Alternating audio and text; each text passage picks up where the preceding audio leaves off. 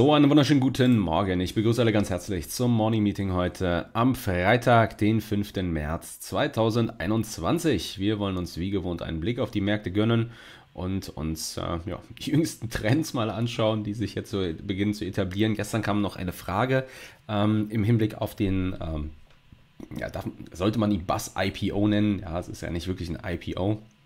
Es wurde ein ETF ähm, ähm, online gestellt, ähm, beziehungsweise handelbar gestellt, der ähm, was macht? Im Grunde genommen Social Media Trends äh, analysiert und in dem Zusammenhang ähm, dieses ähm, im Grunde genommen dann ausgehend von diesen Trends eben handelbar macht auf breiter, breiter Basis. Also das bedeutet etwas anderes formuliert, was da passiert ist, ähm, dass da Keywords ähm, analysiert werden, die halt trenden, zum Beispiel bei Twitter oder auch bei Reddit, dass bestimmte Aktien, jetzt Stichwort GameStop, AMC, Triple BY und dergleichen, also diese Titel, die jetzt ähm, sehr heiß gelaufen sind, zu Jahresbeginn ganz besonders, wo diese Short Squeezes auf den Weg gebracht worden sind, ähm, dass diese, diese ähm, Titel, Hashtag wie gesagt, AMC oder Hashtag GME oder wie auch immer, dass diese im Grunde genommen getrackt werden und dann ausgehend davon dann eben diese investierbar gemacht werden und zwar über einen ETF, wo die dann gebündelt werden in einem Basket und dann eben ausgehend von diesem Basket eben äh, Tradern die Möglichkeit gegeben wird, die heißesten Trends im Grunde genommen zu catchen und diese heißesten Trends zu traden. Ähm, ich habe in dem Zusammenhang jetzt gerade eben äh, beim Frühstück mit meiner Frau gemeinsam ihr dieses, ähm, diese Idee eben äh, kurz mal so dargelegt und ähm, wollte mal gucken, ob, ob ich da eine Reaktion trigger in irgendeiner Form. Und äh, man sah das dann so am sich leicht verkräuselnden Gesichtsausdruck, wo sie dann so sagt, hm, Privatanleger, das ist doch sowas, das ist doch Sentiment. Hast du dazu nicht mal irgendwie was geschrieben oder so? Das ist doch auch immer so ein Thema, ne? Ja, ja, da sieht man, meine Frau hat das tatsächlich Korrektur gelesen und äh, hat ihren Input da auch gegeben. Also Stichwort ähm, Bus und ETF in diesem Zusammenhang und dieses Tracken von Hashtags, das ist zwar ein nachvollziehbares Konzept, ähm, ist auch tatsächlich etwas basierend, worauf man tatsächlich profitable Handelsideen formulieren kann. Ähm, zum Beispiel im Zusammenhang mit dem Buch ähm, Unknown Market Wizards. Das ist jetzt ein Buch, welches ähm, dann im Laufe des letzten Jahres erschienen ist. Ich bin nicht ganz sicher, wann, das, aber es war in der zweiten Hälfte, glaube ich. Ähm, von Jack Schwager, der hat ja die Market Wizards Buchreihe, also Magier der Märkte, hat er ja diese Interviews mit Top-Tradern, hat er begonnen, Ende der 80er Jahre zu erstellen.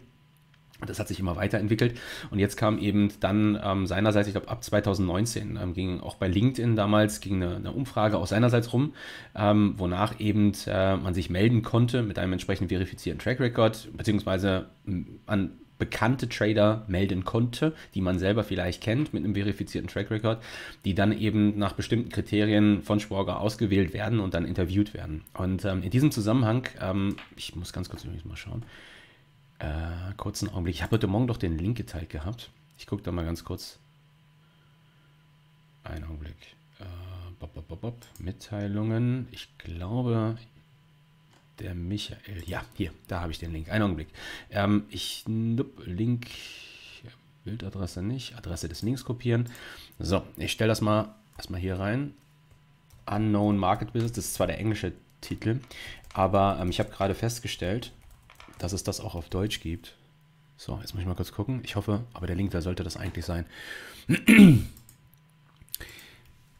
so, und ähm, das ist das Buch, also die unbekannten Magier der Märkte. Wie gesagt, die englische Fassung lautet Unknown Market Wizards. Und ähm, einer der hier in diesem Buch thematisierten Trader ist Chris Camillo.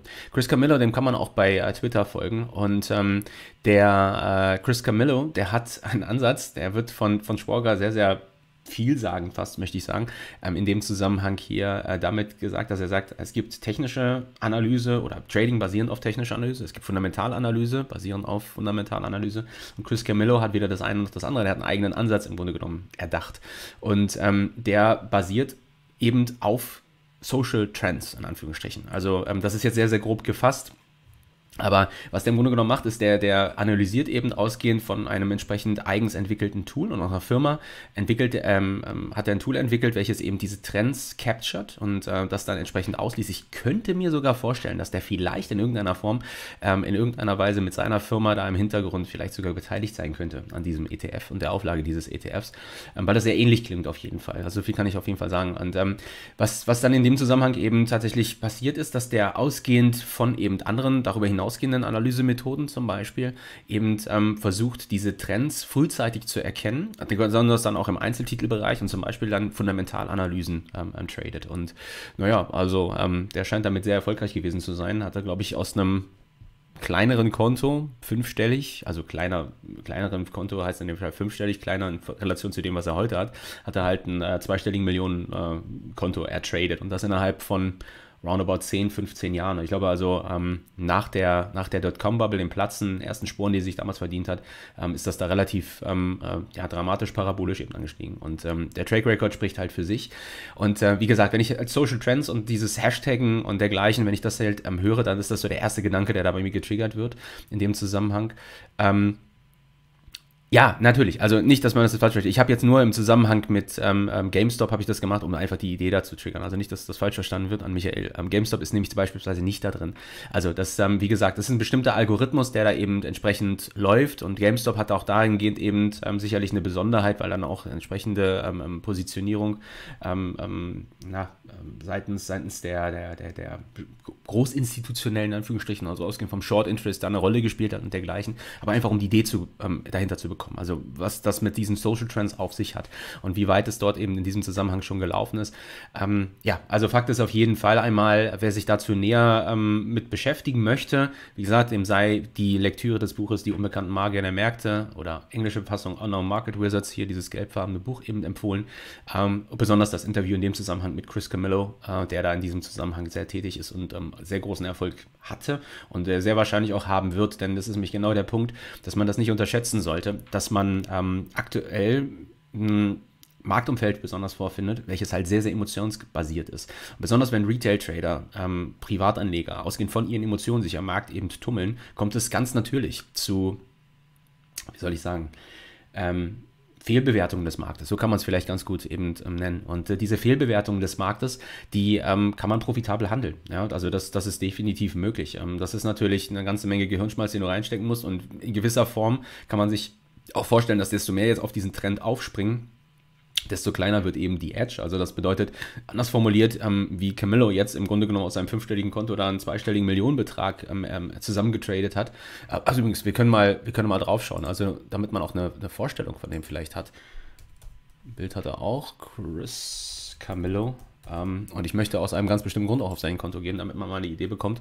Also das ist nicht nur, das ist nicht nur ähm, erzählt, sondern das ist auch wirklich real. Und was er hier gemacht hat, ist zum Beispiel mit AMC, hat er eine Position aufgebaut mit 100.000 Aktien, hat 1,2 Millionen hier ähm, ausgehend von dieser wahnwitzigen Squeeze zu Beginn des Jahres gemacht. Und das ist das, warum ich das zum Thema mache. Es geht hier nicht um den monetären Aspekt, der ist tatsächlich nur nebensächlich. Er hat 100% dieser Position ähm, eben hier gespendet, also einem wohltätigen Zweck zukommen lassen. Das heißt also, bei dem Herrn geht es weniger um äh, den monetären Aspekt eben in diesem Zusammenhang, als jetzt wirklich auch um Gutes dann mit seinen Erkenntnissen hier in diesem Zusammenhang zu tun. Also das fand ich, ich finde sowas beeindruckend. Also sowas ist, ähm, ähm sowas gefällt mir einfach richtig gut. Und ähm, fragt halt jetzt hier in der Community, zu welchem äh, Zweck er das in, entsprechend spenden soll, dass man da entsprechende Vorschläge macht und dergleichen. Das ist von ja, 27. Januar, also AMC, GME und Triple BY und so weiter, eben die entsprechenden Entwicklungen. Und ähm, also das ist der Herr dahinter. Hier sieht man das englischsprachige Buch, äh, England, ähm, das, das, das Gelb farbene englischsprachige Buch und ähm, das einfach mal so als Idee, ja, ähm, dass man da vielleicht auch eine Idee bekommt und äh, das ist das, worauf es aufbaut. Was ich aber eigentlich sagen wollte ist und deswegen mit meiner Frau drüber gesprochen, wie gesagt, was in diesem Zusammenhang natürlich auch ganz interessant ist, ist, ähm, dass man sich vor Augen führen muss, wir haben aktuell dahingehend ein spezielles Fenster, das eben tatsächlich durch den zur Verfügung gestellten Hebel und das Interesse der Retail-Trader und dergleichen natürlich solche Trends sich in einem kurzen Zeitfenster sicherlich profitabel traden lassen. Ich muss allerdings sagen, dass da bei mir ähm, immer auch im Hinterkopf mitschwebt, dass das so erfahrungsgemäß fast schon, möchte man sagen, die Endzüge eines Zyklus sind, der dann mit einem großen Knall und ähm, wie ein, ein äh, gleißender Schein am Himmel uns früher oder später eben äh, der verglühen wird. Also das bedeutet etwas anders formuliert, diese Social Trends und dergleichen, ähm, die sind sicherlich kurzzeitig interessant und auch eventuell profitabel handelbar. Wenn solche ETFs aber jetzt bereits eben aufgeladen, ähm, aufgelegt werden, mit den entsprechenden dann auch Millionen Zuflüssen an Geldern, die da reinfließen, ähm, dann wird früher oder später nicht nur die Edge verschwindend gering, sondern es wird früher oder später auch wieder das klassische Zurückpendeln in Richtung des Normals geben, nämlich dahingehend, dass Privatanleger jetzt nicht so zu den äh, bestinformiertesten ähm, ähm Marktteilnehmern zählen und dass diese eben, besonders wenn sie dann ungeübt sind und nicht im übertragenen Sinne wissen, was sie tun, ähm, eben tatsächlich eher auf der falschen Seite dieser Trades landen. Und äh, das ist eine, eine Entwicklung, die auf jeden Fall auch in diese Sorge mit reinspielt, dass da früher oder später es mal zu einem ganz, ganz empfindlichen Knall kommen könnte. Und äh, das führt uns tatsächlich jetzt folgerichtig, möchte man fast schon sagen, folgerichtig zu den Entwicklungen, die wir jetzt hier ähm, gestern wieder erneut zu sehen bekommen haben. Im DAX spiegelt sich das gar nicht so wirklich wieder. Ähm, allerdings, wenn man auf den Tech-Bereich guckt, mal kurz gucken, wo habe ich ihn hier? Ähm, und den Drop, den wir gesehen haben im Nasdaq gestern, wir können mal auf den Daily gehen, äh, dann sieht man, da kam gestern erneut starker Abgabedruck auf und diese bärischen Vorgaben, die sich hier durch diesen schwachen Schluss am Mittwoch war es, ähm, gezeigt haben. Dieser Schluss unterhalb der Vorwochentiefs, unterhalb der Tiefs, die am letzten Freitag dann nochmal ähm, markiert worden sind. Ähm, diese, diese Abschläge haben sich weiter fortgesetzt. Gestern der Tech-Bereich wieder sehr stark unter Druck gewesen. US-Zinsen zeitgleich ähm, weiterhin auf dem Vormarsch wieder zurück über 1,5 Prozent. Das ist nicht viel. Das sind 5, 6, 7 Basispunkte, die eben zehnjährige Zinsen gelaufen sind. Aber ausgehend eben von der Größe des ähm, Schuldmarktes und ausgehend auch von den massiven Liquiditätsspritzen, ähm, ähm, die da seitens der FED EZB und so weiter zur Verfügung gestellt worden sind, ähm, hat es dann eben diesen Spike gegeben, der dann weiteren Abgabedruck getriggert hat und ähm, der im Gesamtkontext nicht zu unterschätzen ist, der die Bewegung beschleunigt hat, die wir, wie gesagt, ähm, eigentlich im Morgen, also morgens zum Morning Meeting skizziert hatten und ähm, wir sind jetzt in einen Bereich gelaufen, der sich als interessanter Long-Trigger-Bereich auf jeden Fall herauskristallisiert. Also aktuell kann man vielerorts kann man sehen, dass ähm, sich ein Bias beginnt zu etablieren, besonders wenn man der Finanzberichterstattung eben hier folgt. Ähm, du kannst ein Bias entwickeln äh, oder feststellen, wo wirklich jetzt dieser Crash-Gedanke beginnt, eine Rolle zu spielen. Ähm, und, und wo die Marktteilnehmer wirklich anfangen, nervös zu werden, ob die Party auch besonders im Growth-Stock-Bereich eben tatsächlich vorbei ist. Gestern zum Beispiel haben wir auch wieder im äh, Bereich NIO zum Beispiel hier, sind wir unter die 40er-Marke gerutscht. In dem Kontext, ähm, das ist, das ist dieser, dieser chinesische Konkurrent, direkte Konkurrent, von dem wir gestern ja gesprochen hatten, im Zusammenhang hier mit ähm, Tesla, der chinesische direkte Konkurrent von Tesla im, im, chinesischen Markt eben, der sich seit im Grunde genommen Anfang Januar hier in einem ähm, jetzt Korrekturmodus wiederfindet. Ich habe gestern einen ähm, Versuch gestartet von der Long-Seite. Ich habe einen tatsächlich hochprofitablen Trade in diesem Zusammenhang auf den Weg gebracht. Allerdings ähm, bin ich froh, dass ich so verfahren bin im Bereich um den Exit des Trades, ähm, wie das wie ich es dann tatsächlich getan habe. Ich will das mal ganz kurz hier zeigen. Ich habe tatsächlich ähm, gestern diesen Drop hier auf dem Schirm gehabt, den initialen Pop nicht unbedingt. Da war so ein bisschen die Frage, hm, als wir uns oberhalb der 40 haben präsentieren können, als die Eröffnung oberhalb von 40 stattgefunden hat. Wir haben schwächer eröffnet schon, also im Vergleich zum Vortagesschlusskurs, ähm, lagen also hier mit mehr als 3% schon unter Wasser, also Downgap entsprechend. Und ähm, die 40 war so ein ähm, für mich Make-or-Break-Level in Anführungsstrichen. Also das war so eine Art Inflection Point einfach für den Tag, wo ich sage, oberhalb könnte ich mir vorstellen, dass wir vielleicht jetzt ähm, erstmal eine schärfere Gegenbewegung sehen. Unterhalb bin ich eher nochmal willens, eher die Short-Seite zu spielen, beziehungsweise eine tiefere Korrektur zu sehen, bis in Gefilde dann der letztjährigen November bis Dezember Tiefs im Bereich um 38. Das ist tatsächlich diese untere blaufarbene Linie, um die wir jetzt aktuell auch im Pre-Market hier derzeit traden.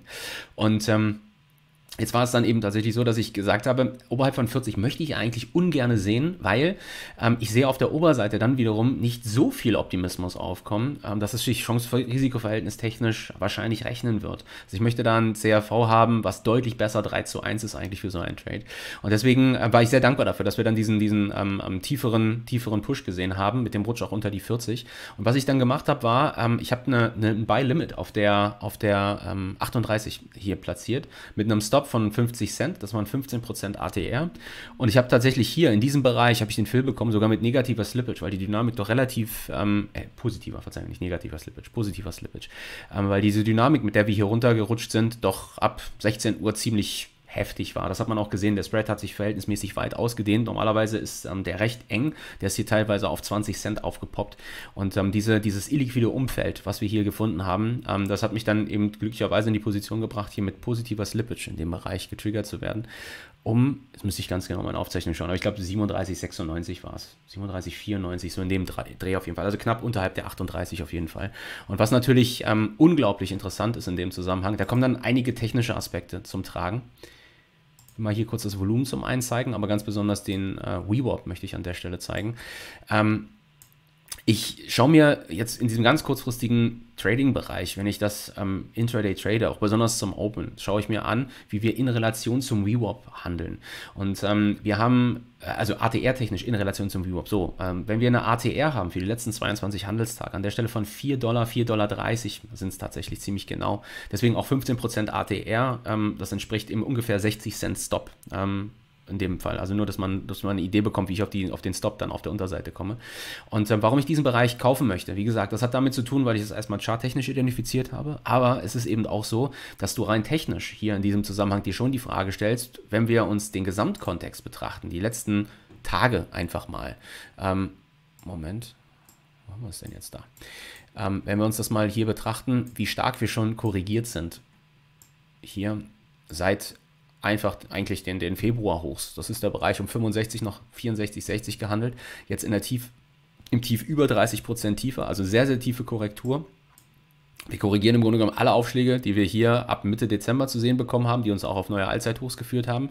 Und das im, in dem Zusammenhang, dass wir einen verhältnismäßig soliden Datensatz immer noch bekommen. Also Datensatz, sprich Earnings Release gesehen haben. Die haben, also NIA hat ja am Montag nachbörslich haben die ähm, Zahlen veröffentlicht.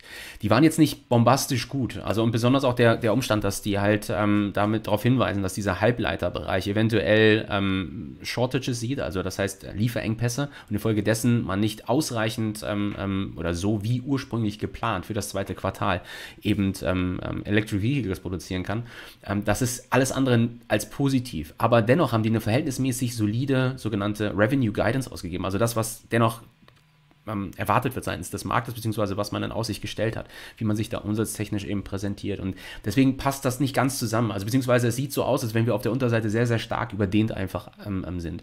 Und dann habe ich eben infolgedessen, habe ich gesagt, die 38 ist aus dieser Perspektive ein ganz interessanter Bereich, weil Chance-Risiko-Verhältnis technisch interessant. Das gilt besonders aber auch, wenn wir uns überlegen, dass wir ausgehend von den da markierten Intraday-Tageshochs mit einem Zug im Grunde genommen abverkauft worden sind in diese Gefilde um die 38 und hier nichts anderes sehen als eine ATR-Move innerhalb von roundabout einer halben Stunde. Und das ist einfach extrem überdehnt auf der Unterseite und, und schreit in Anführungsstrichen fast schon danach, dass wir da einen Bounce zu sehen bekommen.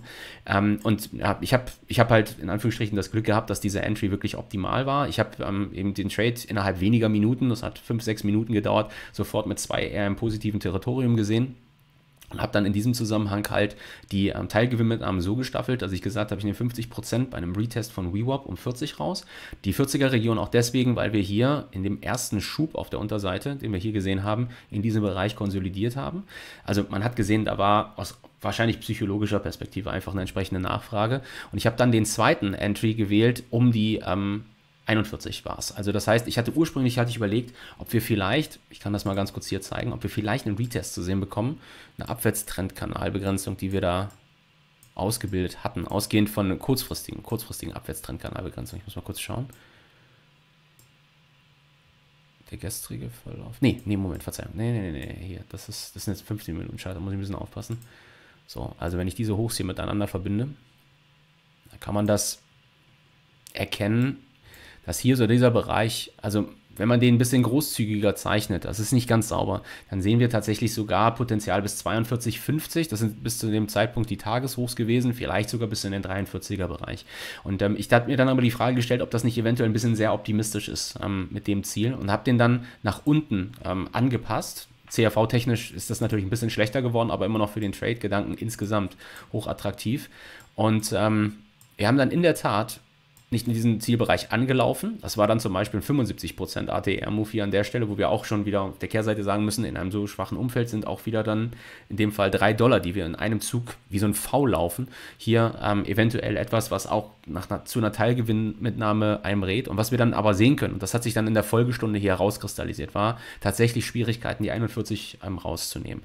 Und da wusste ich an der Stelle, dass es jetzt wahrscheinlich ähm, hier das Beste war, wirklich den Day-Trade rauszunehmen selbst wenn ich den aufgesplittet hätte und gesagt hätte, ich habe jetzt hier in den WeWork 50% und habe dann nochmal einen Teilgewinn mit Name 25% und den Rest halte ich halt vielleicht über den Folge, ähm, äh, die Folgestunden vielleicht in der Erwartung, dass wir wirklich einen sehr tiefen Lauf zurück über die 40 zu sehen bekommen, ähm, infolge eben einer Aufhellung im Tech-Bereich, wie auch immer, weil der ja auch die letzten Tage sehr, sehr stark unter Druck ähm, geraten war.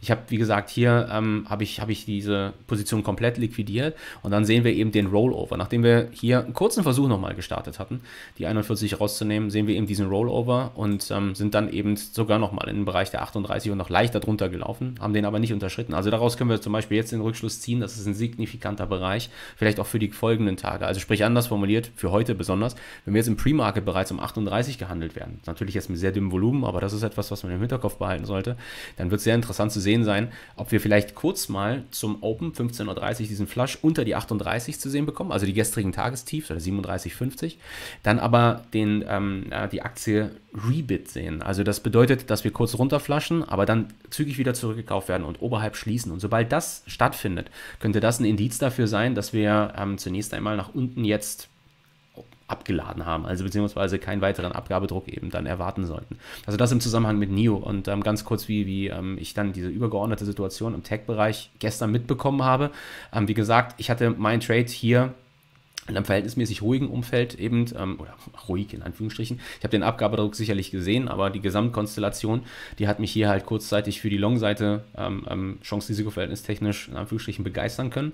Nichtsdestotrotz, diese weitere Entwicklung, die war halt durchaus etwas, ähm, was zur Sorge mahnt, ähm, wo ich mir aber jetzt weiterhin erstmal die Frage stelle, ob wir jetzt nicht eventuell nach unten fertig sind. Ausgehend, wie gesagt, und dann gehen wir nochmal auf den Nasdaq wo habe ich denn hier?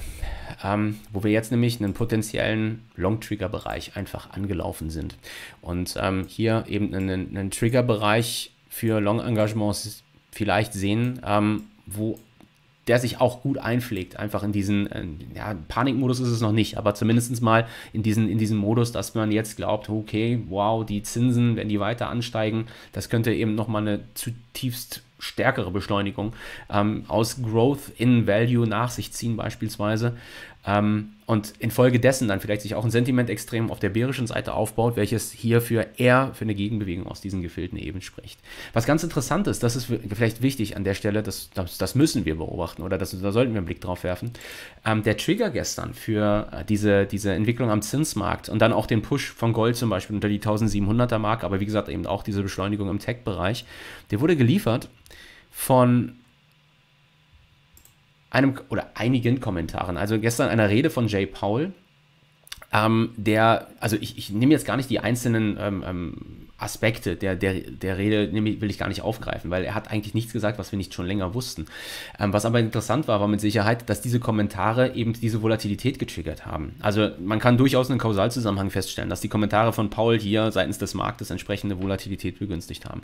Und ähm, ich, ich schreibe es halt hier, also sie haben eigentlich nichts Neues beinhaltet, aber wenn man eben Equities sich anschaut, besonders Tech, also Nasdaq an der Stelle, Yields, also Zinsen oder eben auch Gold, rutscht unter die 1700er Marke, dann scheint der Markt mindestens Hinweise in Richtung YCC ähm, erwartet zu haben. YCC steht an der Stelle kurz für Yield Curve Control. Also das bedeutet, dass man eine, eine aktive Manipulation eben der Zinsstrukturkurve angeht, wo man im Grunde genommen sagt, wir sagen, wir deckeln den Zins und sagen, der Zins darf ein bestimmtes Niveau nicht mehr überschreiten. Wir wollen, wir setzen fest, dass der in einem bestimmten Band um zum Beispiel so und so 4% eben pendelt. Das ist eine, ähm, ähm, eine sehr extreme Maßnahme, die eine Notbank ähm, oder auf den Weg bringen kann.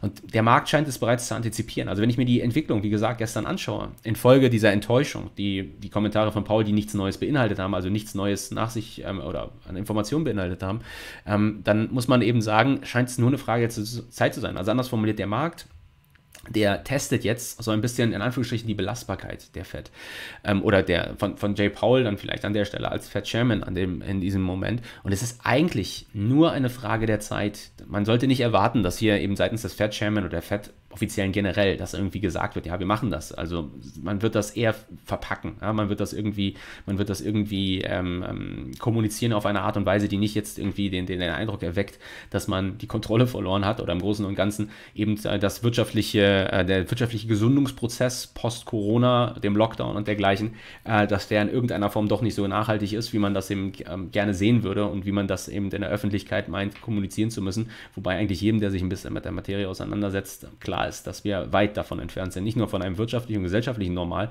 ähm, sondern eben auch eine Gesundung des, des Arbeitsmarktes beispielsweise zu sehen. Stichwort Arbeitsmarkt. Heute übrigens NFPs heute Nachmittag ähm, 14.30 Uhr, die allerdings wie auch die letzten Monate schon keinerlei große Volatilität begünstigen sollten. Also ähm, außer natürlich, wir sehen einen br brutal guten Datensatz, ist aber nicht unbedingt davon auszugehen. Dafür waren die ADP-Zahlen am äh, Mittwoch zu normal, in Anführungsstrichen, also nicht außergewöhnlich stark. Ähm, also, lange Rede, kurzer Sinn. Worum es geht, ist in diesem Zusammenhang, wir sehen jetzt so ein bisschen das Testen der, der FED und dieser Kommentare von Paul. es spiegelt sich sehr deutlich auch wieder, was der Markt erwartet. Und wenn die Volatilität hoch genug wird und, äh, oder stark genug anzieht an der Stelle. Also an der Stelle kann man das beispielsweise hier im WIX sehen, der kurzzeitig gestern über die 30er-Marke zurücklief. Das ist jetzt hier auf, auf, auf Tagesbasis. Ähm, allerdings auch kein weiteres Momentum aufgenommen hat. Also der Markt beruhigte sich dann so ein wenig. Das ist so ein, zumindest kurzfristig so ein Zeichen, dass vielleicht, wie auch letzte Woche schon, in den Wochenschluss hinein so eine leichte Beruhigung aufkommt. Und ähm, die dann eben dazu beiträgt, dass wir eher eine Gegenbewegung sehen, im Nasdaq eben gegen diesen potenziellen Long-Trigger. Ähm, weswegen ich dann zum Beispiel auch für Tech-Aktien grundsätzlich ich nicht so negativ gestimmt bin. Also wie gesagt, das, was ich gerade für NIO skizziert habe, das lässt sich auch auf andere Märkte anwenden. Da können wir gleich noch einen Blick drauf haben. Ich habe eine ähm, ähm andere Aktie noch vorbereitet, ein Palantir, ähm, also PLTR. Das ist ähm, eine super spannende Konstellation, die sich da darstellt. Aber bevor wir darauf eingehen, vielleicht noch mal ganz kurz hier einen Blick auf den DAX. Ähm, der sich weiterhin jetzt nicht wirklich vorteilhaft präsentiert, aber immer noch recht solide, ehrlich gesprochen. Eben auch durch seinen nicht so ganz starken, also seine ganz so starke Abhängigkeit von ähm, Tech an der Stelle. Also was wir in diesem Zusammenhang sehen, wir verlieren zwar den Kampf um die 14.000. Wir haben gestern kurzzeitig hier zum, zum Market Open, äh, nicht zum Market Open, sage ich schon, ähm, zum US Open, ähm, oberhalb von 14.000 Punkten eben notiert ich habe dann eben ähm, den Tag einen Tag genannt und ähm, habe hab mich erstmal so ein bisschen, äh, bin geistig ein bisschen runtergefahren, habe mich mal anderen Sachen gewidmet, habe dann allerdings abends nochmal reingeschaut ähm, und war echt überrascht zu sehen, dass wir dann im DAX, das war dann eben 20 Uhr, so roundabout, dass wir so deutlich unterhalb der 14.000er Marke notierten. Also eigentlich ein bärisches Signal. Ähm, jetzt sehen wir allerdings auch, dass wir nicht weiter verkauft werden. Also die 13.900, die kann aktuell zumindest noch verteidigt werden. Also nicht substanziell oder signifikant, aber ausreichend so, dass ich sagen würde, das ist eigentlich ein Signal, wo durchaus noch die Option besteht, dass wir die Woche im Bereich um 14.000 Punkte eben beschließen, auch wenn die Struktur alles andere als attraktiv ist. Und ich glaube, es gibt wesentlich attraktivere Märkte gerade zum Handeln als den DAX. Aber ähm, für, für, für diejenigen, welche den DAX auf dem Schirm haben, dass wir hier in Bereich um 13.900, etwas tiefer 13.850 Punkte, dass wir diesen eben ähm, nicht deutlich unterschreiten.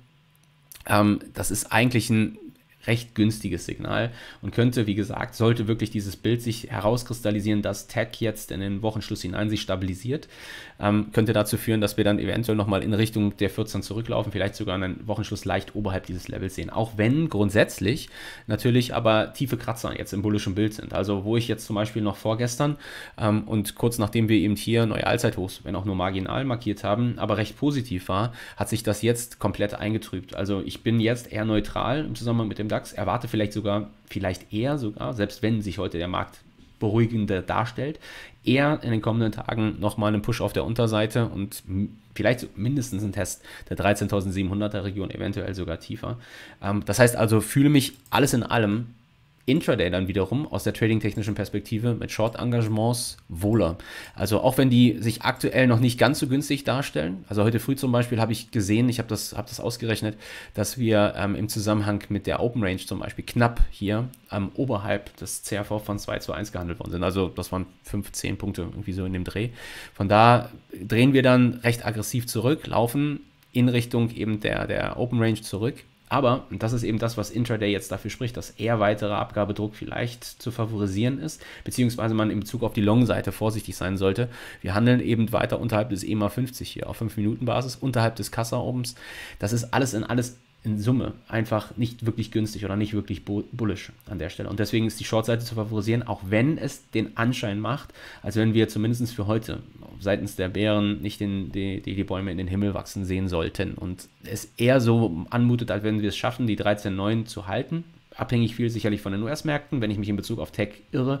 Und da kommt nochmal so ein Flush, der uns vielleicht dann auch in diesem Zusammenhang in Richtung und auch vielleicht unter die 12.000er Marke eben schiebt. Das sind zwar 400 Punkte, aber wenn die Volatilität stark genug wird und die entsprechenden ähm, Rotationen ähm, ähm, beginnen zu marschieren, in Anführungsstrichen, dann ist das durchaus ein ernstzunehmendes Szenario. Das würde natürlich der DAX auch an der Stelle, selbst wenn er den Tech-Sektor nicht so stark berücksichtigt, ähm, nicht retten. Also das ist anders formuliert, der würde, der würde infolgedessen dann auch sehr, sehr deutlich wohl ähm, unter die 13.900 fallen, würde potenziell neue Wochentiefs markieren und wahrscheinlich den Weg schon jetzt dann in den Wochenschluss bereiten, Richtung der 13.700er Region. Aber so weit sind wir noch nicht. Also wie gesagt, zunächst einmal bin ich für Tech in Summe eher positiv gestimmt, ähm, auch wenn ich die Long-Seite jetzt hier nicht für, ähm, für den DAX eben favorisieren würde. Ganz besonders nicht, weil wir eben weiter unterhalb des EMA 50 eben hier auf der ähm, ähm 5-Minuten-Basis traden.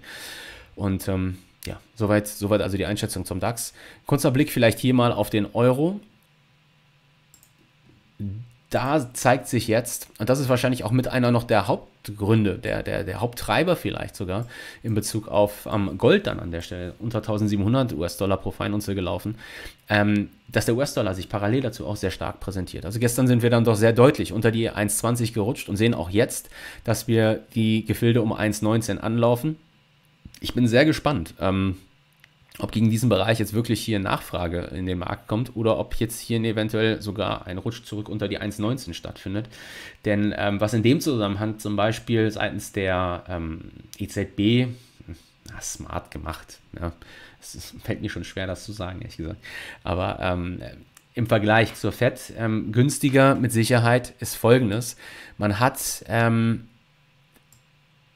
eigentlich ein relativ klares Bekenntnis äh, gemacht. Also klares Bekenntnis ähm, in Bezug darauf, dass man, dass man äh, schon letzte Woche über Christine Lagarde, über den, ähm, ich glaube, Chefökonom Lane und dann auch über äh, Frau Schnabel eben ähm, hier eine klare Kommunikation im Hinblick auf die weiteren Entwicklungen am Zinsmarkt eben gegeben hat, weil man natürlich auch hier eine Aufwärtsbewegung gesehen hat. Und Schnabel hat zum Beispiel in den Wochenschluss letzte Woche ganz klar gesagt, sobald anziehende Zinsen hier, ähm, dass, dass ähm, die Erholung in Bezug auf Corona, den Lockdown und dergleichen eben, ähm, ähm eben ähm, be nicht beeinflussen, sondern ähm, gefährden, wird man aktiv werden im übertragenen Sinne seitens der EZB. Und das ist ein klares Signal, dass man Zinsen nicht über ein bestimmtes Maß laufen lassen wird. Also das ist eine ganz klare Kommunikation. Und ähm, das ist natürlich per se erstmal etwas, was für den zugrunde liegenden Euro dann an der Stelle eher bärisch ist, während man seitens der FED eher zurückhaltender agiert und eher so die Kommunikation wählt, naja, wir gucken mal. Also alles in allem sind wir wirtschaftlich auf einem gesunden Pfad jetzt wieder unterwegs und ähm, erholen uns recht gut. Und ähm, diese Entwicklung, die wir am Zinsmarkt zu sehen bekommen, hat im Grunde genommen damit zu tun, weil eben die Wirtschaft gesundet. Ich denke nicht, dass das so ist. Wenn man sich die Inflationsentwicklung anschaut, wenn man sich anschaut, ähm, wie die Geldmenge in den USA explodiert, wie viel Liquidität dort ins System gepumpt wird und dergleichen. Ich glaube eher, dass das damit zu tun hat, dass eben, und das hat die Bond-Auktion siebenjähriger Schuldtitel letzte Woche Donnerstag gezeigt, dass keiner mehr US-Bonds haben will und ähm, infolgedessen ganz natürlich dann ausgehend von der mangelnden Nachfrage nach US-Bonds eben dann US-Zinsen steigen. Aber ähm, im Gesamtkontext, aktuell ist das natürlich mit einer der Gründe, weswegen der Euro dann durch diese, ich sag mal, Zinsdeckelung, die schon recht klar kommuniziert worden ist, zeitgleich eben der US-Dollar diese Zinsdeckelung nicht erfährt, jedenfalls nicht rhetorischer Natur, dass das dann dazu beiträgt, eben, dass der Euro zum US-Dollar sich hier entsprechend, wo haben wir denn?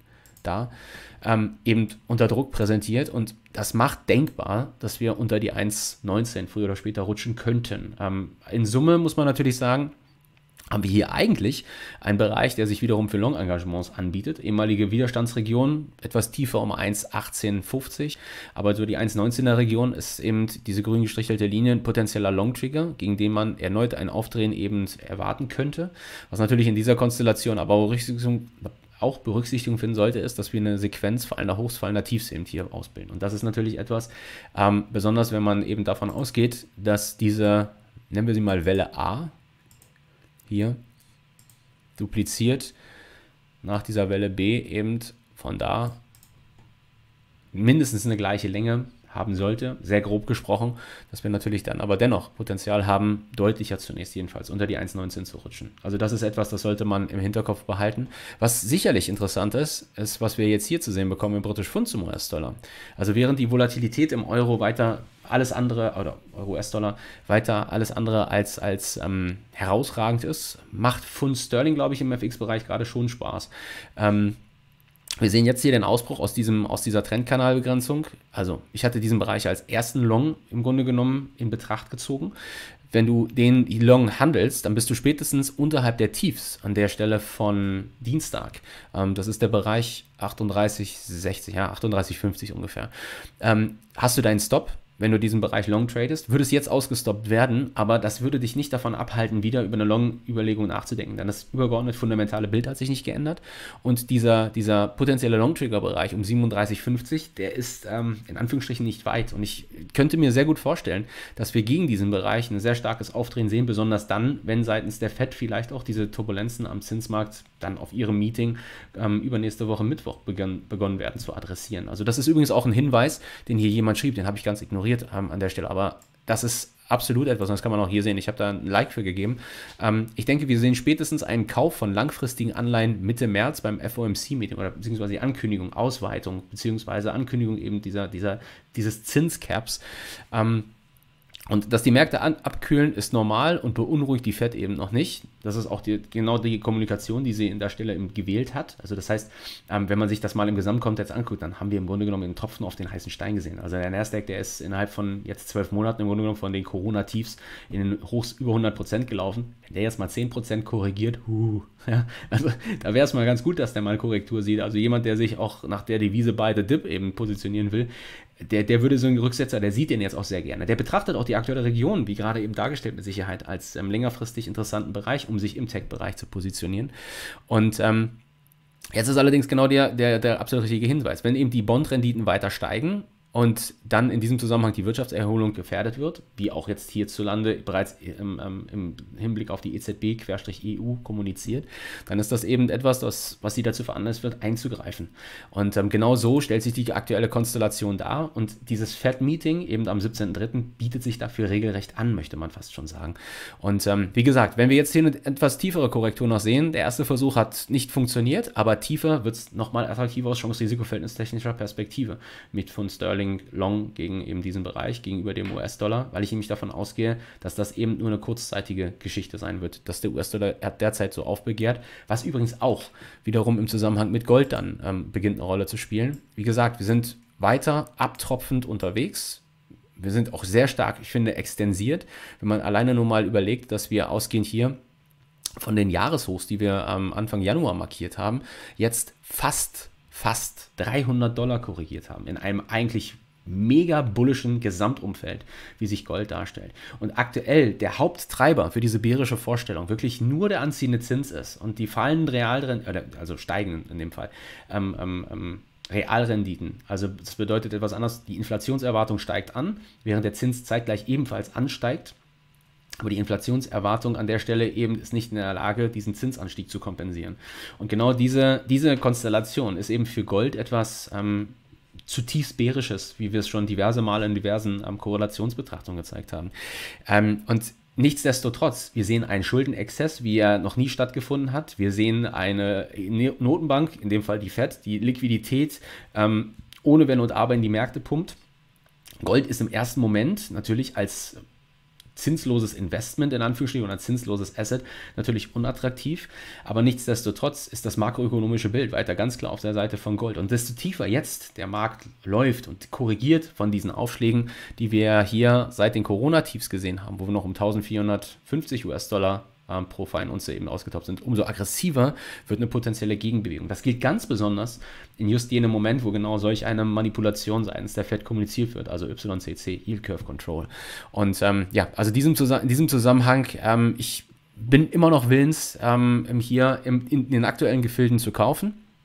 Also bedeutet 1675, 1680, 1685 ähm, US-Dollar pro Feinunze scheint mir eine Region zu sein, in die ich mir nicht nur vorstellen könnte, dass es noch gehen könnte. Also vielleicht durch heute sehr starke NFPs beispielsweise, mal ein kleiner Spike in den Zinsen, der dann Gold nochmal einen kurzen Schub auf der Unterseite gibt. Ähm, und dann kann ich mir vorstellen, dass wir initial mindestens, ausgehend von diesem stark überdehnten Modus, eine sehr starke Gegenbewegung sehen. Ob wir dann bullisch ausbrechen aus diesem Abwärtstrendkanal, das bleibt natürlich abzuwarten. Aber da ich eben hier einen recht guten Einstieg in diesen Bereich bekomme, mit kleinem Risiko an der Stelle, ähm, welches ich, ja, wie, wie würde ich das definieren? Also ich würde mal sagen, ich, ich, ich, würde tatsächlich mir vorstellen können, das Ganze mit maximal 50 äh, Dollar pro Feinunze abzusichern an der Stelle. Also ich habe es jetzt nicht genau kalkuliert, aber ähm, das, das wäre, wäre wahrscheinlich valide. Dann hast du recht zügig wahrscheinlich eine Gegenbewegung von mindestens 2, 3 R in dem Bereich, die es dir auch legitim ermöglichen, den Stop mindestens auf Break-Even zu trailen und dann einfach zu sagen, jetzt bin ich in einem Free-Roll, jetzt gucken wir einfach, ob wir diesen Ausbruch zu sehen bekommen und wenn es halt noch eine tiefere Korrektur geben soll, dann wird es eben noch eine tiefere Korrektur. Also das heißt, ähm, ähm, aber an der Stelle bin ich aus dem Risiko raus. Also das bedeutet etwas anders formuliert, ich sehe den Modus hier schon sehr, sehr stark überdehnt auf der Unterseite. Ich glaube, wir sind nah am Boden ähm, und könnten Zeiten eine sehr scharfe Gegenbewegung sehen. Ich sehe das auch weiterhin, ehrlich gesagt, wenn ich mir zum Beispiel stark positiv zu Gold korrelierte Einzeltitel anschaue. Also zum Beispiel hier, in dem Fall wieder ein Blick auf Barrick.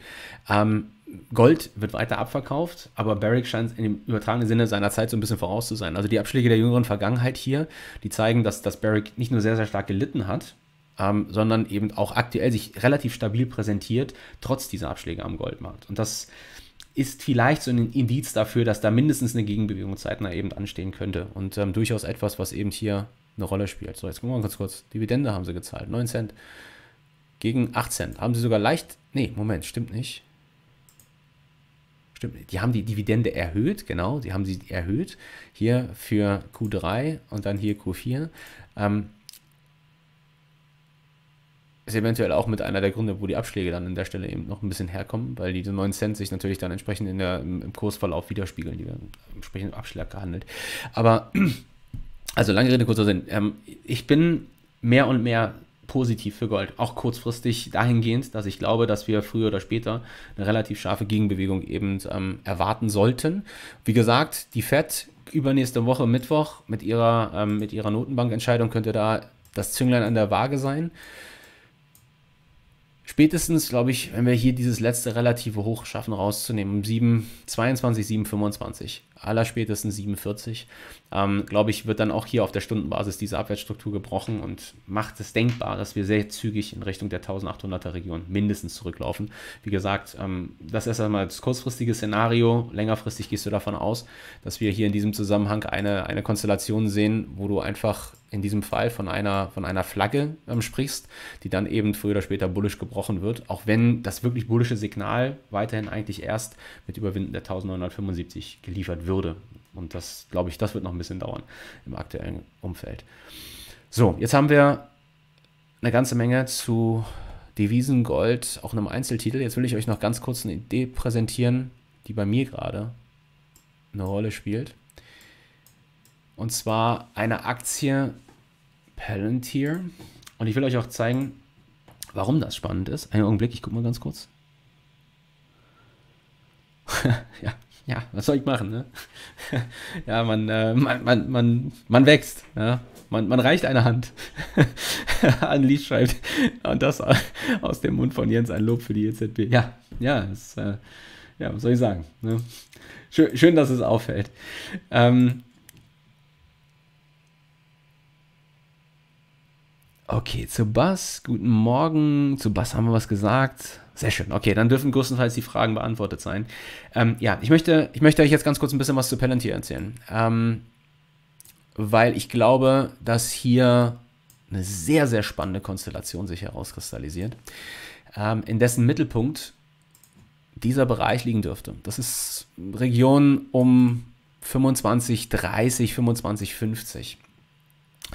Ähm, das Unternehmen hat alles in allem, ich glaube, darf man so schon sagen, also recht solide eigentlich ähm, ähm, berichtet. Hier zwar Earnings per Share an der Stelle, der jetzt nicht so besonders ausgefallen ist, aber die, die Revenue Guidance alles in allem war verhältnismäßig gut. Und besonders wenn man das dann in der Konstellation betrachtet, ich gucke mal kurz, dass wir eben ausgehend von diesen Hochs, die ähm, Ende Januar markiert worden sind, hier um ähm, 45 Dollar, Pi mal Daumen, schon eine Korrektur gesehen hat von nunmehr nahezu 50 Prozent. Ähm, Im Gesamtkontext schwer zu rechtfertigen. Also das heißt aktuell besonders wahrscheinlich deswegen am Leiden, weil eben der Zins ähm, anzieht. Das belastet Growth-Titel und das bedeutet eben grundsätzlich für den Tech-Markt ähm, und dann Titel, die sehr, sehr stark gelaufen sind, eben ein sehr, sehr starkes, tiefes Korrekturpotenzial. Ähm, jetzt sehen wir aber mehr und mehr, und das kann man hier erkennen, dass wir in den Stabilisierungsmodus übergehen. Also ich hatte die Aktie tatsächlich schon ähm, diverse Male auch in der Vergangenheit auf dem Schirm. Ähm, bis dato ist das allerdings tradingtechnisch im Break-Even-Bereich größtenteils rausgelaufen. Also mal ein kleiner Gewinn, mal ein kleiner Verlust, aber so wirklich angesprungen ist die Aktie nie. Den Trade hier, ähm, das war. Oh, jetzt muss ich mal kurz gucken. Moment, Verzeihung. Was ist der 22., 23.? Nee, das war hier. Ja, das war hier. Das war der 19. Ähm, da hatte ich einen Gameplan formuliert, mit dem Stint, der da stattgefunden hat, kurzzeitig in Richtung der 30er-Region. Bedauerlicherweise habe ich aber den Gameplan nicht umsetzen können, weil ich zu diesem Zeitpunkt gerade in einem Webinar war. Das war ein Freitag. Das war extrem ärgerlich. Ich habe davor gesagt, dachte mir so, jetzt hast du den Gameplan, du hast Szenarios konzipiert und hast das nicht traden können, weil du einfach nicht schnell genug die Order im Markt hattest. Ne? Und ähm, also, ne, du, du, warst abgelenkt, so normalerweise legst du dann die Order in den Markt. Ich habe die Order aber nicht in den Markt gelegt gehabt, weil ich eben nicht davor gesessen habe, nicht aufgepasst habe. Aber beziehungsweise abgelenkt war, distracted. Also, ähm, gut, also lange Rede, kurzer Sinn. Das, das wäre auf jeden Fall etwas gewesen, das hätte das gesamte Experiment in Anführungsstrichen oder Kapitel ähm, Palantir auf jeden Fall schon mal positiv gestalten können. Ähm, Nunmehr, jetzt ist allerdings die Sache die, dass ich mir schon damals die Frage gestellt habe, ist das nicht eventuell dann ein potenzieller Swing-Gedanke, ähm, wo du versuchst, den, ähm, die Aktie im Grunde genommen hier zu kaufen, ähm, in diesen Gefilden 25, 24, diese Region, ähm, ausgehend von übrigens auch der Price-Action, die da in der jüngeren Vergangenheit stattgefunden hat. Ähm, und dann darauf zu spekulieren, zwar einerseits einen Teil intraday zu traden, auf eine, eine, schärfere Gegenbewegung, aber dann auch längerfristig das Ganze zu spielen, in Erwartung eines deutlichen Laufs zurück über die 30er-Region. Und ähm, dann habe ich infolgedessen hier, dieser Price Action, habe ich das beobachtet und dachte mir, hm, das sieht jetzt aber nicht so vielversprechend aus, mal nett formuliert. Also das, das war jetzt nicht das, was ich erwarten würde. Also ich hätte jetzt eigentlich erwartet, dass das die Initialzündung ist, hier am, am, am 19. dann. Ähm, und dann auch in der Folgewoche, wo das nochmal einen Test auf die 30 gab, dass das die Initialzündung ist für diesen Lauf über die 30. Stattdessen sehen wir dann eben diese erhöhte Volatilität letzte Woche, am äh, Dienstag besonders durch den Nasdaq und dann hier auch in den in Wochenschluss hinein, am Donnerstag letzte Woche und am Freitag wo wir dann nochmal tiefere Tiefs markieren, wo wir zeitweise sogar unter 23 Dollar die Aktie laufen. Und ähm, hat also jetzt erstmal dafür gesorgt, dass die Aktie begonnen hat, so ein bisschen ins Hintertreffen zu äh, im Rücken bei mir. Ähm, ich habe aber immer noch dieses Szenario, also wonach ich den Rücklauf über die 30 sehe. Ich warte aber jetzt an der Stelle eben auf ein Szenario, was sich herauskristallisiert, welches eben ähm, hier ja, sich auch charttechnisch dann präsentiert. Also das heißt, du, du, du hast dann auch entsprechend die, die Information, mir fällt gerade ein, wir sollten mal hier ganz kurz das Volumen einblenden. Ähm, da siehst du nämlich zum Beispiel hier dieses erhöhte Volumen in diesem Bereich, was da stattgefunden hat. Ähm, das ist eigentlich ein bullisches Signal, besonders eben, weil du hier auch durch diese, diese ähm, ähm, grünfarbenen Balken, das ist natürlich nicht so aussagekräftig, weil wir eine Stunde betrachten, ähm, aber du kriegst das Signal seitens des Marktes, die zahlen im übertragenen Sinne den Spread. Also das heißt, die Nachfrage ist hier wirklich ähm, sehr stark gegeben in diesem Bereich. Und ähm, es ist dann eben jetzt in dieser Konstellation ist das eben so, dass das dann überrascht, diese bärische Action, aber eher das übergeordnete Bild betrifft. Und jetzt ist was passiert, und zwar schon die gesamten letzten Tage eigentlich, seit Montag hat die Aktie hier versucht, immer wieder die 25,50 ähm, zu überwinden angestoßen, abgeprallt. Angestoßen, auch gestern. Angestoßen, kurz drüber gelaufen, dann kam dieser bärische Druck in den Abend hinein, erneut abgeprallt, ähm, zurück in Richtung der 23er-Regelung gelaufen, aber hat verhältnismäßig stark geschlossen eben. Also oberhalb von 24, unterhalb dieses Levels. Und ähm, das sieht jetzt verstärkt danach aus, besonders in der Gesamtkonstellation. Also diese Aktie stark unter Druck, wahrscheinlich durch den, sehr, sehr wahrscheinlich durch den übergeordneten Abgabedruck, den wir eben sehen. Nasdaq beginnt sich aber zu stabilisieren, potenziell im Bereich eines Long Triggers. Und ähm, das bedeutet jetzt etwas anders formuliert, dass ich mir eine Alarmlinie hier in den Chart legen würde um 21, äh, 25, 30, 25, 50 und dann wie folgt agieren wollte. Ich würde jetzt nicht den Break mit einem Buy-Stop sofort kaufen, sondern was ich sehen möchte, ist im übertragenen Sinne, da gehe ich jetzt mal noch eine Zeitebene runter, vielleicht 15 Minuten. Was ich jetzt hier sehen möchte, ist, dass wir diesen Bereich nicht nur anlaufen, sondern dass wir ihn brechen und dass wir oberhalb dann eine Akkumulation sehen. Also sprich, die Aktie läuft drüber über diesen Bereich. Also nochmal, ich mache mal hier 25, 30 bis 50. Ich würde wahrscheinlich eher von der 50 an der Stelle sprechen, oberhalb der ich das sehen will, aber das wird sich dann zeigen durch die jeweilige Konstellation, ähm, ähm, wenn, wenn dieser Lauf stattfinden sollte. Und dass wir dann hier in diesem Bereich eine enge Konsolidierung sehen oberhalb der 25,30. Also das bedeutet etwas anderes, nicht, dass wir in einem straighten Weg durchlaufen auf der Oberseite und den Breakthrough sehen. Ähm, das wäre das ungünstigere Szenario, weil dieses Szenario, was ich jetzt gerade hier skizziere, eben ein besseres CRV nach sich zieht. Aber ähm, das ist das, was ich jetzt gerne intraday sehen wollen würde. Dass wir über diesen Bereich laufen, hier und dann oberhalb von 25, 30, 25, 50 uns halten können. Dass wir unter entsprechend vielleicht auch anziehendem Volumen hier entsprechend eine, eine, eine Konsolidierung ausbilden die zeigt, dass wir jetzt wirklich hier einen Boden vollzogen haben, dass es wirklich eine, eine, Bodenbildung stattgefunden hat. Und dann würde man im Grunde genommen diese Konsolidierung und diesen Break über dieses technisch signifikante Level, welches hier auf jeden Fall erkennbar ist, durch die diversen Läufe, die wir über diese letzten Tage zu sehen bekommen haben. Und entsteht ein Abprall. Das ist ein signifikant technisch hochsignifikantes Level. Bruch drüber, Schluss drüber, Konsolidierung oberhalb, also Akkumulation, die stattfindet. Das wäre dann durchaus etwas, was man als Long Setup eben formulieren könnte. Auch mit einem klar kalkulierten Risiko, weil du nämlich aus solch einer Konsolidierung natürlich sofort weißt, wo ist dein Trade falsch. Also allerspätestens unterhalb des Ausbruchlevels, also 25, 30 Pi mal Daumen. Und wenn du den Trade dann, sagen wir mal, um 25, 80 vielleicht kriegst, vielleicht 26 in den Gefilden, ähm, dann hast du natürlich ein, ein, phänomenales CRV. Wenn du davon ausgehst, dass sich das übergeordnete Bild dann dahingehend auflöst, dass wirklich die Aktie hier ähm, ausgehend von den präsentierten Zahlen und auch ausgehend von der übergeordnet weiterhin vorteilhaften Situation für den Growth-Tech-Bereich generell, ähm, dass das eben entsprechend hier sich, sich, sich positiv ausgeht und du den Rücklauf deutlich über 30 erwartest für die kommenden Tage, dann hast du aus solch einer Konstellation, aus der untergeordneten Zeitebene, bei einem Risiko von 50 Cent, vielleicht 80 Cent maximal pro Aktie, ähm, 80 ist schon eine ganze Menge, ehrlich gesagt, wenn ich mir überlege, da können wir auch mal kurz einen Blick drauf werfen. Ähm, Finwiz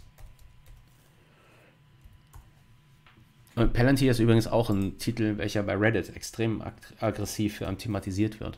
Ähm, also, Palantir, und zwar hier, das ist interessant, weil der Shortfloat gar nicht so hoch ist. Ähm, super übrigens liquide an der Stelle hier. Ähm, Shares Float, also das heißt ausstehende Aktien 1,06 Milliarden, recht enger Stop. Ähm, Market Cap 43 Milliarden, also das bedeutet, dass ähm, das Volumen hinter. Also das, das hat eine ähm, breite Masse, die das einfach Interesse weckt. Und ATR hier 330. Also 330, wenn ich da mit einem, mit einem 20% ATR-Stop arbeite, dann habe ich, wie gesagt, einen Stop von maximal 70 Cent eigentlich. Deswegen sind 80 Cent schon relativ viel. Ähm, aber zurück zu dem, zu dem Gedanken. Also, sollte sich diese Konstellation eben hier herauskristallisieren und du kommst in einen Trade rein, der eben ähm, an der Stelle beispielsweise 50 Cent Risiko hat und aus solch einer Konsolidierungszone eben rausgeht, das ist dann Risiko. Und du gehst auf der Oberseite eben auf dann 30 Dollar, dann siehst du ja schon ein CRV von 8 zu 1 teilweise. Also das kann eine super attraktive Chance-Risiko-Verhältnis technisch sehr, sehr attraktive Angelegenheit eben werden, weswegen auch ausgehend von dieser Signifikanz und dieser, ähm, diesem, diesem auf meiner Watchlist sein, schon seit geraumer Zeit jetzt, seit einigen Tagen, seit zwei Wochen eigentlich schon, ähm, und diesem, diesem klaren Level, was sich jetzt hier herauskristallisiert auf der Oberseite, ist das super interessant, glaube ich. Also ähm, PLTR ist ähm, besonders, wenn sich eben der Tech-Sektor beginnt zu beruhigen und dann in Kombination hier Chance-Risiko-Verhältnis technisch, glaube ich, eine sehr, sehr interessante Angelegenheit. Und was noch wichtig ist, ähm, das ist etwas, was ich hier schon vorbereitet habe. Der ein oder andere erinnert sich vielleicht. Ich hatte vor ähm, einiger Zeit, also letztes Jahr, genau, Ende, Ende letzten Jahres, 27. November, hatte ich einen Blogartikel veröffentlicht und da ging es um äh, die Frage, hat die Börse ein Gedächtnis? Und ich hatte in diesem Zusammenhang diesen Anchored VWAP-Gedanken präsentiert. Also das bedeutet, ich stelle mal zu mal den ähm, Anchored VWAP-Blog. So, stelle mal hier in die, in die Chatbox. Der steht auch dann in der Description Box unter dem Video, sobald das ähm, Meeting vorbei ist. Und ähm, dieser Anchored VWAP-Gedanke, den habe ich ihm hier erklärt, was dem dahinter steht, kognitive Verzerrungen im Trading und dergleichen, die da eine, eine Rolle spielen, der sogenannte Anker-Effekt, daher auch Anchor, Anker. Und ähm, ich habe hier in dem Zusammenhang verwiesen auf eine weiterführende Quelle, das ist allerdings englischsprachig, von Brian Shannon von Alpha Trends. Und ähm, ich folge Brian Shannon übrigens auch bei Twitter. Und ich bin gestern über einen Tweet von ihm aufmerksam geworden, hier Trend Spider, das ist dann ähm, dieser, dieser, ähm, ähm, diese, diese Basis, wo er diesen Anchored Rewap eben berechnet an der Stelle. Er hat hier sich die Aktie von PLTR interessanterweise angeschaut, also nicht, dass wir uns abgesprochen hätten, er hat die auch auf dem Schirm. Und worauf verweist er? Er verweist darauf, dass wir aktuell hier im Bereich des Anchored VWAP eben tatsächlich handeln. Er sagt auch tatsächlich, dass das hier also wirklich ein, Paradebeispiel in Anführungsstrichen für kognitive Verzerrung ist und diesen Ankereffekt und die Signifikanz dieses Bereiches. Er schreibt hier, PLTR has become a cult-like stock, also eine Kultaktie im übertragenen Sinne. Um, ask most people what they do also, du kannst die meisten Leute fragen, mich übrigens eingeschlossen, muss ich ganz ehrlich sagen. Also, so intensiv habe ich mich mit, äh, mit, mit PLTR nicht, nicht äh, auseinandergesetzt. Ähm, wenn, ich, wenn ich gefragt würde, was macht PLTR, dann würde ich sagen, naja, die machen ähm, ähm, Data Science im übertragenen Sinne, haben als ersten Auftraggeber als 2004, 2005 gegründet worden sind, haben die ähm, das US-Government gehabt, ja, und äh, infolge der, des, des immer fortwährend größer werdenden Einflusses von Daten ähm, und der Weiterverarbeitung von Daten scheint Palantir durchaus eine, eine Hot Stock gerade zu sein, also in einem potenziellen um, interessanten Bereich einfach zu, tätig zu sein. Schreibe, ja, uh, something they do with uh, big government data. Ja, irgendwie so. Uh, also im übertragenen Sinne, was ich gerade gesagt habe, was ich auch sagen würde. Und ähm, ob der CEO jetzt famous ist oder nicht, das, ich habe keine Ahnung. Fakt ist auf jeden Fall, und das ist das, worauf dieses Anchored Reward-Prinzip abzielt. Wir laufen in diesem Bereich und wir laufen auf diesen potenziellen Anker und wir konsolidieren in diesem Bereich. Wir sehen eine Akkumulation. Also aktuell verlaufend eben um roundabout 24 Dollar. Und das Interessante ist jetzt eben, wenn ich das hier nutze, dann ist das potenziell ein Bereich, den ich durchaus erwarten darf, eine stärkere Nachfrage eben auf den Weg zu bringen. Was bedeutet, dass wenn ich das in diesen Gesamtkontext eben lege, dass die Wahrscheinlichkeit noch einmal in unsere Richtung unterstrichen wird, dass es wirklich zu dieser scharfen Bewegung zurück in Richtung und über die 30er-Marke kommt. Und das, was den Trade eben, wie gesagt, so attraktiv werden machen würde, ist die Signifikanz dieses Levels und das klar definierte Risiko. Also du weißt, unterhalb solch einer Konsolidierung hast du deinen Stop. Du kannst relativ klar, deutlich dein Risiko kalkulieren, hast nach oben eine Chance, die ein Vielfaches davon beträgt. Also klassisch das, was wir eben als Trader machen. Und ähm, ja, also das im Zusammenhang mit PLTR, damit ihr da auch vielleicht mal so eine Idee bekommt, wie man so etwas dann kombinieren kann. Also, dass das Sinn macht. Ja, die Blogartikel im Zusammenhang mit diesem Anchored WeWarp, beziehungsweise das Grundkonzept WeWarp an der Stelle, wie man eben dann Chartanalyse hier mit den aktuellen Entwicklungen auch aus dieser Buzz schließt sich der Kreis. Eben ähm, diese Social Media Activity, Palantir ist zum Beispiel auch eine sehr intensiv ähm, diskutierte Aktie im Zusammenhang mit Reddit beispielsweise. Ähm, das ist alles in Kombination einfach etwas, was gerade zeigt, dass diese Aktie extrem spannend ist und für mich spannend ist. Wie gesagt, also das global makroökonomische Bild auf der einen Seite und wenn sich jetzt, wie gesagt, diese Stabilisierung im Nasdaq herauskristallisiert, dann könnte, wie gesagt, PLTR da durchaus eine sehr, sehr interessante ähm, Konstellation sich herauskristallisieren. So, ja, das wäre es erstmal gewesen an der Stelle. Ähm, ich hoffe, dass ihr habt ein bisschen was mitnehmen können. Ähm, für alle diejenigen, welchen die neu dabei sind, wenn es euch gefallen hat, lasst gerne ein Like hier, abonniert gerne den Kanal und auch das, bitte stimmt für mich ab. Ich bin immer noch bei der Black Bull Award ähm, äh, Wahl. Ich will das mal ganz kurz hier reinstellen. Ähm, Black Bull Award 2021 stehe ich immer noch zur Wahl und ähm, würde mich freuen, wenn ihr da für mich abstimmen würdet. Ich weiß, viele haben schon abgestimmt. Ich bin euch zutiefst dankbar an der Stelle. Ähm, und äh, also hier einfach, wie du für mich abstimmen kannst, einfach hier unter Trader auf dieser Seite dann mich auswählen, einmal den Vornamen eingeben an der Stelle. Hier stehe ich, da ist der Trader. Hoppala. So, hier ist der Trader, das bin ich. Und dann einfach den Vornamen und die E-Mail-Adresse einfach abschicken. Ich würde mich riesig über deine Stimme freuen. Ähm, ja, und das soll es erstmal meinerseits gewesen sein. Wir hören uns wieder nächste Woche am Dienstag. Montag bin ich wieder bei Admiral um 10, zum Punkt 10. Und ähm, es gibt dennoch ein uh, Trading-Tutorial. Wir werden auch im übertragenen Sinne ein bisschen was in dem Zusammenhang nochmal zum Thema Anchored VWAP haben. Das ist nämlich dann der Two-Day VWAP, dem wir uns widmen wollen, am Beispiel ähm, Tilray. Ähm, die Idee ist die gleiche im übertragenen Sinne. Also man kann einige sehr, sehr interessante Gedanken basierend darauf eben formulieren, auf diesem Anchored Rewap Gedanken. Wie gesagt, normalerweise gucke ich mir den Rewap Intraday an, weil ich einfach sehen will, was passiert Intraday ausgehend vom täglich gehandelten Volumen. Wenn ich das auf zwei Tage ausdehne, gucke ich mir schon die letzten zwei Tage an. Aber die Referenz und ausgehend von dann den Gedanken, die sich da auch durch entsprechende News eben formulieren lassen, ähm, hast du im übertragenen Sinne einen, einen ersten Schritt in Richtung Anchored Rewap eben tatsächlich gemacht. Also das ist das Tutorial, welches wir am äh, Montag dann um 11 auf dem YouTube-Channel hier einlaufen sehen und ähm, so. Soweit meinerseits. Also Happy Trading. Passt auf eure Stops auf. Wir hören uns wieder dann nächste Woche am Dienstag zum Morning Meeting oder bereits am Montag um Punkt 10. Schaut euch gerne das Tutorial an. Wir lesen voneinander im Forum. Habt euch wohl. Macht's gut. Bis dann und tschüss.